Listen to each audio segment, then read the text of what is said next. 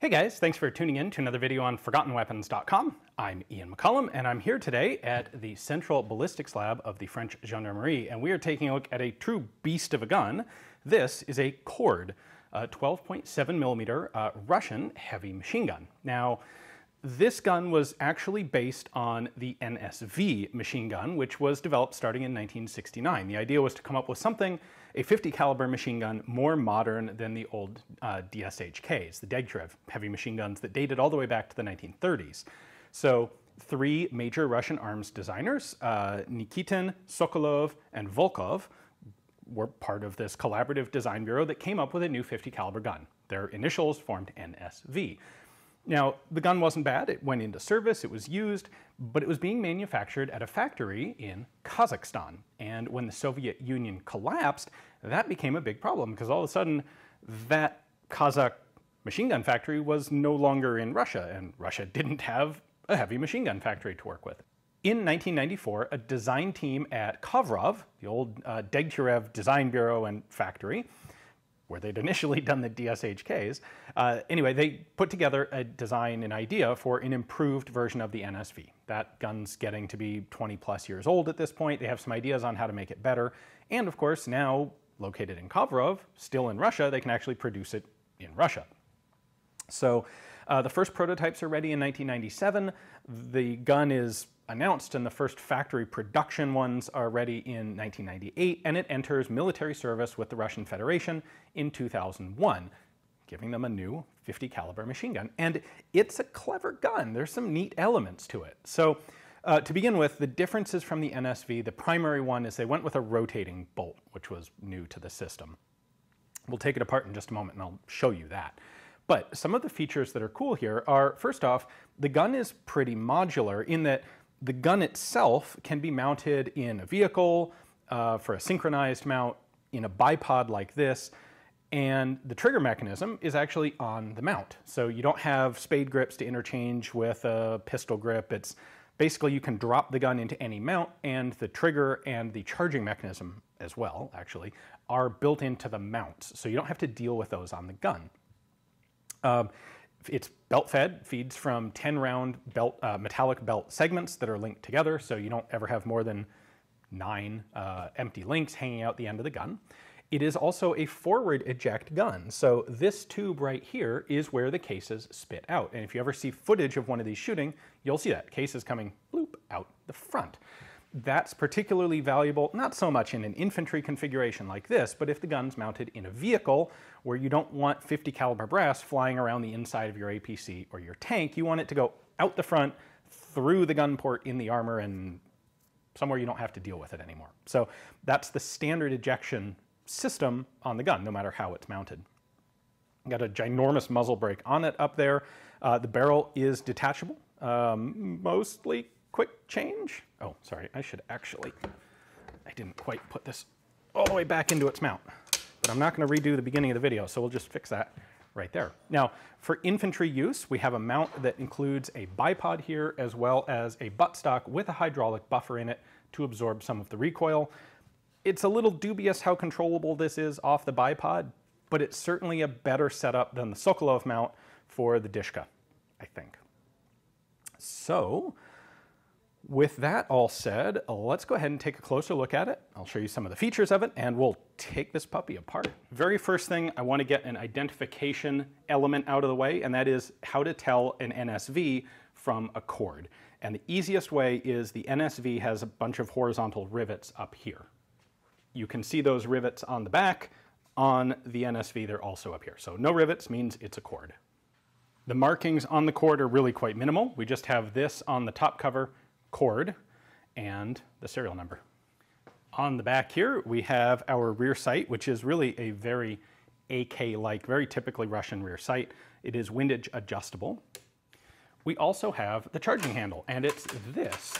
We've got a cable here that goes around a pulley, and this whole thing is actually built into the mount. So it's running in here. I'll show you the actual charging handle on the gun in a minute when we take it apart, but there's no way to charge this thing if it's not in its mount. If it is, this one has led a bit of a hard life, so some of the springs are a little wonky in it. But uh, that has now cocked the bolt. It fires from an open bolt here. We've got our uh, dust cover, or our feed cover right there. Now that it's cocked, I can engage the safety. This is in the fire position. I can push it in, rotate it over to that position. That's safe. And then that's the fire position. Worth pointing out, you can only engage the safety if the bolt is open, locked, and ready to fire. Next up, we have our feed cover here. Uh, the Kord feeds from the right. There was a plan, a theorized plan to do a left-hand feed version, but it never actually went into production. Push this lever up. We can lift the top cover. That's as far as it goes up, spring-loaded, so it'll stay up for you. We then have the feed tray here, and I do actually have a short half belt of dummy cartridges that I can show you. So these would feed like this, and these rails are going to pop the cartridge down out of its link into the feedway where they're picked up by the bolt. These are your feed pawls that hold the second cartridge in place so that the belt doesn't fall out backwards. The empty uh, belt then comes out like that. With the bolt locked back, we can remove the barrel. We do have to lift the feed cover to do it. Once the feed cover's up, I can press down on this tab, and then I can pull the barrel out the front. Now, I do have to unlock it from this element of the bipod mount. Drop it down like that. And then I'm gonna add a little bit of percussive maintenance. And then we can pull the barrel out. So that tab on the receiver locks in here to hold the barrel in place. This horrible grinding is evidence of some less than totally professional users' uh, method of hand fitting this barrel to get it to fit, because this is a totally non matching gun. Uh, these pins, by the way, you have four cross pins in here that are locking this component, which is the barrel extension, onto the barrel itself as a rotating bolt locking system, um, it's vaguely like an AR in that the bolt locks into the barrel extension here, which then is pre-head spaced to match up to the chamber, which you can see down there in the bottom. We do also have a carry handle here. If I push this button down, I can, there we go, open up the handle, which rotates up like so, and then locks backward. This will allow me to carry the new barrel. And we've got our gas block pinned onto the barrel right there. The front sight post, which also has been uh, rather amateurly replaced onto the gun. And this quite impressively large muzzle brake, complete with um, what appears to be some combat damage. All right, now I'm gonna take the gun out of the mount. And the mount is a really clever, quick, and easy system uh, for installation. So we've got one pin and it's it looks like your typical sort of old school Maxim or Vickers cross pin, but it's actually pre-cut with a very fast twist cam on it. You can see it right there. So all I have to do is rotate this about one and a half revolutions and it cams itself out. So even if it gets sticky, that's fairly easy to remove. We then have a very simple uh, trunnion mount in the front where you've got two lugs horizontal lugs like this that just lock into these holders. So now I just have to lift up the rear and it slides very nicely out of the mount. All right, now you can see the mount a little bit better. We've got our charging handle assembly right here. This is what it's actually pulling back on. Push that down to allow it to operate like so. And by nature of having this pulley, you actually have a gear reduction, and it's about half as difficult to, uh, you need half the force and double the distance to actually pull this back, which is a very nice thing. This makes the gun actually quite a lot easier to cock than, say, the Browning M2, which has a pretty similar strength spring in it. Next up, I can go to the trigger group, and all I have to do is rotate this inward, and the trigger and stock fold up that substantially reduces the amount of space that this thing takes up. I can cam that screw back in there. this will actually fold in. And I suspect that the front end of this mount is actually installed backwards because this will fold all the way forward and I suspect it's supposed to fold all the way back to again get out of the way. Now we can get into disassembly of the gun itself. First step is to take off this rear uh, top rear receiver cover. To do that, I'm going to push this button in all the way, use my Russian machine gun disassembly tool here. This just slides back slightly. There we go. And lifts off. So this is the sear, this is the trigger mechanism. That's the firing sear right there. This acts as a trigger. So when this pushes up right there, it pulls the sear up, which releases the bolt and fires it. We're used to the trigger stuff being on the bottom of the gun. In this case, it's on the top. Worth pointing out, by the way, we do have a, uh, an optics mount machined into the side or mounted onto the side of the gun. So this is optics capable. Next up, I'm going to take the back plate off the gun, and that will allow me to take all the internals out. So this just slides up. Lift that. It is, the, the recoil spring is in here. It is captive, although it's just slightly compressed. So this is the back plate. Now we can pull the spring out. This is like an MG42 spring, but huger. Uh, it is a, a braided wire spring. It is all captive, thank goodness, and it's got a recoil buffer at the end. And then lastly, we can pull out the bolt and bolt carrier assembly. So this is vaguely PK-like. Now on the PK, you have this bend in the gas piston, this joint in the gas piston, so that you can take it out without, well, because the back end of the PK receiver doesn't come out. On this one, you have this joint so that, well, the back plate does come out, but you can take this out while the gun is still mounted in its tripod, which does have stuff, or on its bipod, which does have stuff uh, coming out, coming, interfering with pulling stuff straight out the back. So both the recoil spring, which has a little bit of a bend to it, and the bolt carrier uh, and gas piston can come out with some obstruction behind the back of the gun.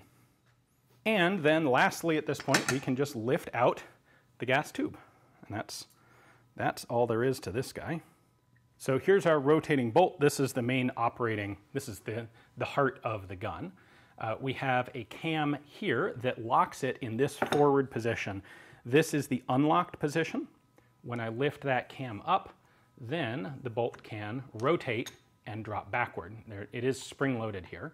And the firing pin, which you can see right there. The firing pin is fixed to the bolt carrier. So like I said, this fires from an open bolt. When I lift that up and push the bolt back, as soon as it's fully locked, the firing pin protrudes through right there and fires the cartridge.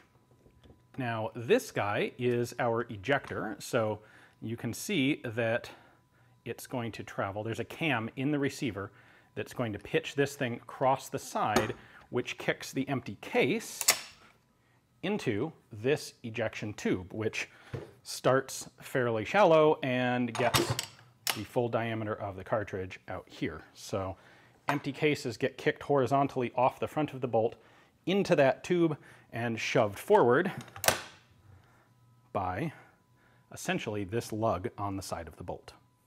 So empty cases get kicked off of here.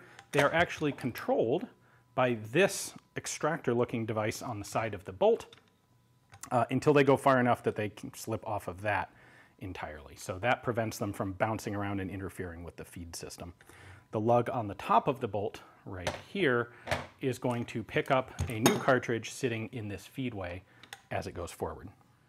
One other element worth looking at here is the feed system up here. So this cycles forward and back. We're used to this sort of feed system having a pawl that runs side to side.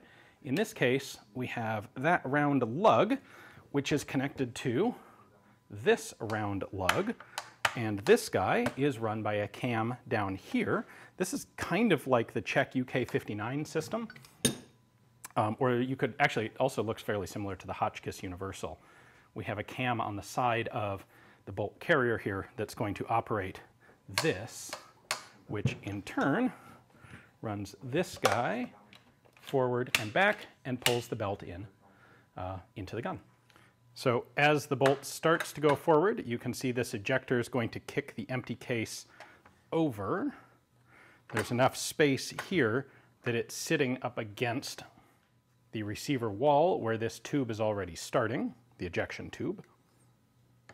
There we go. It's going to keep going forward. And when we get to that position, it gets cammed back in out of the way. Um, each case is going to go forward, snap past this spring, and that prevents anything from coming backward in the ejection tube, say if the gun's pointed upwards. And as we look at this moving forward, you can see that this is camming this feed pawl really quite slowly. So that's all the way forward, and then it has to go quite a long ways just to cam this piece back. And that's a good idea. That's using good leverage because this feed system is having to lift a significant amount of weight of belt and ammunition. So do, trying to do it quickly could potentially cause problems. Doing it nice and slowly like this is a good idea. As I pointed out, this particular example has had a bit of a hard life. I'm pretty sketchy about that grinding on the barrel, but hey, whatever. Uh, this did not come from Russia. Uh, this is the spoil of a French Special Forces action. At some point, it's been in the collection here with the Gendarmerie for many years, well, predating the war in Ukraine.